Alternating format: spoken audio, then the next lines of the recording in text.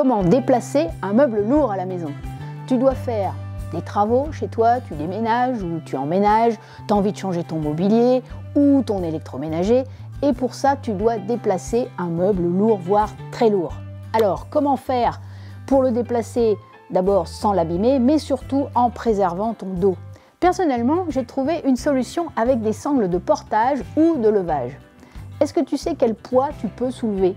Une main, deux mains, peu importe. Hein? Bah oui, c'est-à-dire que nous, on est quand même assez vite limité. On n'est pas bien costaud, hein Oui, oui, oui, bah oui, c'est comme ça. Bon, voilà, donc même si tu as l'aide d'un ami, ben, la capacité à soulever du poids est pas bien grande.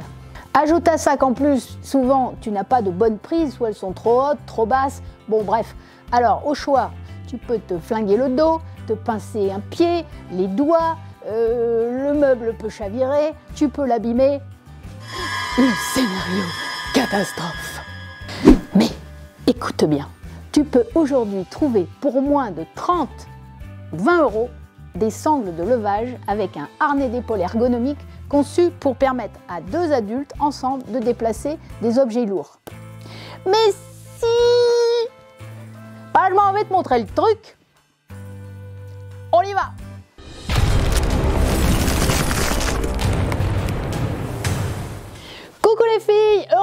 vous retrouver pour ce nouvel épisode d'Elle Bricole, l'espace où on apprend et où on progresse en bricolage pour devenir autonome à la maison.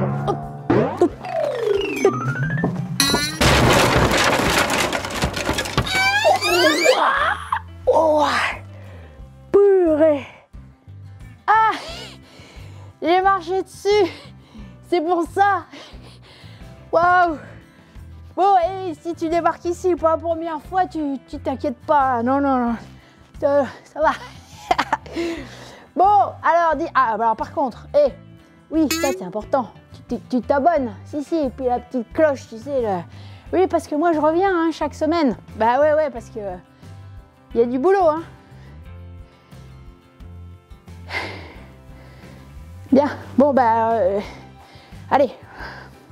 Alors, on va regarder comment sont foutues ces sangles. J'ai aujourd'hui l'aide de mon grand copain Pascal qui va m'aider à soulever cette bête. Là, c'est un, meuble euh, de tout en chaîne, chevillé, qui pèse à la louche, Pascal 80 kg. 80 kg. Voilà, clairement, moi toute seule, je m'en sors pas. Et même à deux, avec des prises qui sont un peu compliquées, euh, c'est pas facile en sachant qu'on on va le monter jusque, jusque là-bas. Alors les sangles, les sangles, c'est tout con. Il y a une partie euh, qu'on pourrait appeler un peu un harnais. On s'en équipe, on passe les épaules dedans. Voilà, on croise bien les sangles euh, à plat. Donc là, c'est en fait ce sont les épaules qui vont euh, récupérer la, charge normalement prévue sur les, mains et les bras. Après, il y a la sangle de, levage. C'est une sangle toute simple. Hein avec plusieurs possibilités pour y glisser les mains et d'ajuster ainsi la longueur des bras. Et donc, il convient juste de glisser le crochet. Alors, nous, on l'a mis à la dernière. Hein. Ce qu'on a répété avant, hein, c'est... Voilà. D'un côté. Et cette sangle-là, on va la glisser sous le meuble.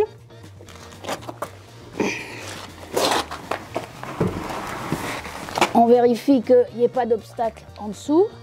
Là, on récupère ici. Moi, je vais m'équiper de la même manière. Viens voir un peu par là. Voilà. Pascal peut se relever. Une fois équipé, nous n'aurons plus qu'à soulever légèrement et partir avec le meuble. Alors ça y est, je suis harnaché, nous sommes prêts avec Pascal. Hein, c'est exactement la même chose, j'ai passé la sangle dessous. On fait à peu près la même taille, donc on est réglé au même, euh, même endroit. Là, donc, on pourrait à la limite, Pascal, sans, sans les mains, hein, on pourrait déjà soulever le meuble. Pas beau ça hein, Voilà. Bon, après, bah, justement, parce que la charge est répartie sur les épaules, ça nous libère nos mains qui sont là pour éventuellement euh, stabiliser le, meuble, hein, qui est quand même euh, lourd. Et puis, c'est pas le cas ici, mais ça pourrait très bien nous permettre d'attraper une rampe à un moment, d'ouvrir une porte, voilà, en tout cas de contrôler. Et là, euh, tout le poids est, sur les, épaules. Alors on est parti, on va là-bas. Ça se fait vraiment, Pascal Très facilement. En toute facilité. On monte. Bon, là évidemment, c'est un petit effort quand même supplémentaire. On peut à tout moment s'arrêter et faire une pause. Et hop, on repart. Voilà. Ça se fait vraiment en toute facilité. On va poser le meuble ici. Voilà. On défait les sangles.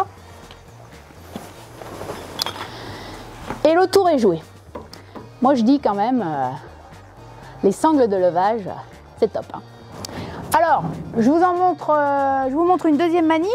Ici, c'est un, casier qui fait 3, enfin qui fait plus d'un mètre de, large, qui est haut et, et aussi euh, lourd, même s'il est vide, très encombrant. Même chose, hein, on s'est équipé, on glisse la sangle dessous.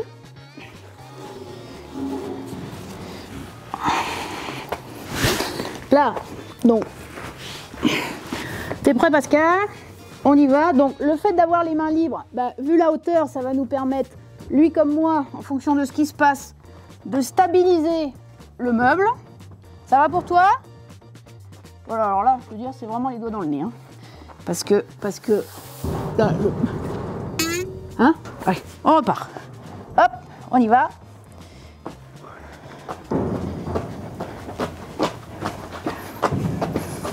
Et on pourrait aller loin. hein. On pose. Voilà. Tout l'intérêt de ces sangles, évidemment, dépendamment de l'objectif de déplacer du poids, c'est vraiment de préserver son dos. Alors, ici, je lâche le meuble, je relâche un peu euh, mes jambes, mais mon dos est resté plat. Si je charge, je pousse sur mes jambes et mon dos reste bien droit. Donc ça limite vraiment les risques de blessure et avec les mains, je peux stabiliser à tout moment, diriger et reposer. Voilà, tu vois, c'est une solution très accessible puisque tout le monde pratiquement peut s'en servir. Tu gardes les mains libres, tu réduis les risques de blessures et le tout pour un coup vraiment rikiki. Moi je dis qu'un kit comme ça à la maison, bah c'est vachement bon. Salut